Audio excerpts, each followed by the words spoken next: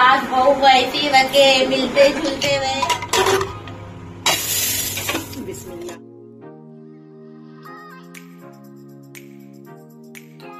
Everyone आज हम बना रहे हैं ब्लॉग हमारे यहाँ आ रहे कुछ खास मेहमान। मैं उनके लिए सैरी की तैयारी कर रही हूँ। और वो मेहमान को नहीं जानने के लिए हमारा वीडियो लास्ट तक देखिए। कीमे को धो के ले ली हूँ मैंने अच्छे से पहले। अब मैं इसमें डाल रही हूँ तीन बड़े टमाटे बारीक काट के और दो बा, दो प्याज बारीक कटी हुई।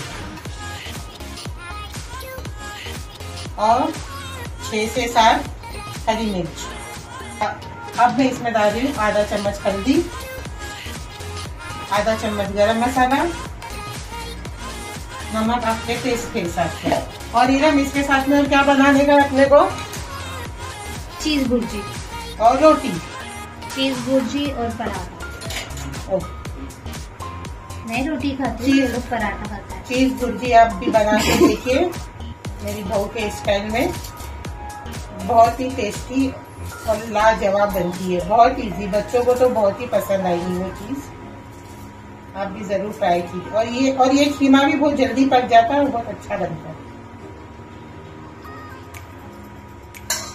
अब इसमें डालेंगे तेल।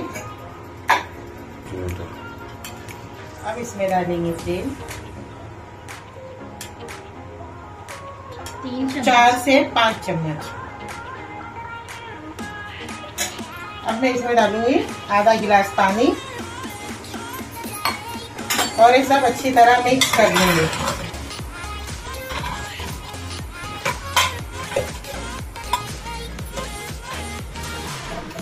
कच्चे मसाले का जो अपन ने जो इसके पहले बनाए थे ना, वो कांदा अपन ने लाल करे थे। कांदा लाल करे थे और उसमें टमाटर डाल के अपन ने नरम करे थे। उसके बाद खीमा वगैरह ऐसा डाले थे। ये पूरा एक साथ डाल के चढ़ा देने का। ऐसा।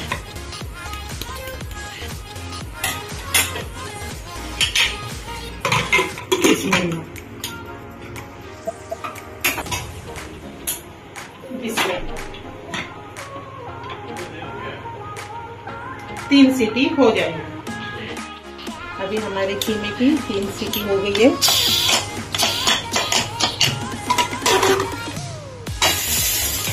बिस्मिल्लाह। अभी थोड़ा पानी है इसमें, इसको थोड़ा पानी सुखा देंगे।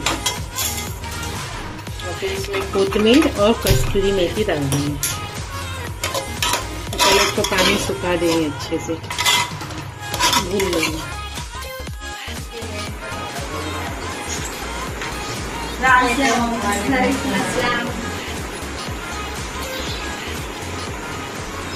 इनको तो आप सब पहचानते ही है। ये मेहमान नहीं मेरी बहन है। माशाल्लाह माशाल्लाह। नया चैनल बहुत बहुत मुबारक हो। अल्लाह ताला बहुत कामयाब करे। तरक्की पे लेके जाए। एक लाख सब्सक्राइबर पूरे हो। है ना? और जल्दी। सास बहू को ऐसे ही रखे मिलते जुलते रहे। हमेशा मिलजुल के रेसिपी भी बनाना शूट करना ब्लॉग भी बनाना। अल्लाह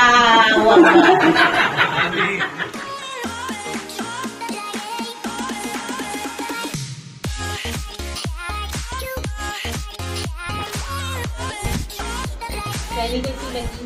माशाल्लाह बहुत ही अच्छा था। अच्छा लगा एकदम टेस्टी खाया नॉन पेपर में? रोटी खाया ना तीन रोटी खाई रोटी भी तीन रोटी खाया ऐसा नहीं बोलो। फिर खाए पूछे तो तीन रोटी खाया हमारी सैरी हो चुकी है और मेरी बहन भी अब गई क्योंकि उसको काम था। इफ्तारी के लिए मैं उसको बोली रुक तो वो नहीं रुकी। और हमारा ब्लॉग बहुत छोटा सा बना है। क्यों क्योंकि लड़कों को जाना था नमाज़ के नमाज़ के लिए। इसके लिए हम लोग ब्लॉग बुक छोटा सा बनाए हुए हैं। आप लोगों को हमारा ब्लॉग कैसा लगा बताइए। और लाइक करो सब्सक्राइब करो और शेयर करो। शेयर करो। कमेंट करना ना भूलें। अल्लाह हाफिज।